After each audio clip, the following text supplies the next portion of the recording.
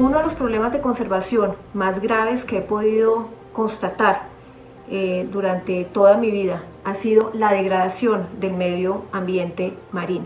El valor que tiene el Congreso Mundial de la Conservación de la Naturaleza, la UICN, para aportar y apoyar a estos problemas que no solamente son locales, sino mundiales, son muy importantes porque es aquí donde salen las recomendaciones para que los países tomen medidas de conservación. Espero que logremos finalmente llegarle a los oídos del mundo para que podamos proteger nuestra naturaleza, nuestra biodiversidad, indispensables para la vida.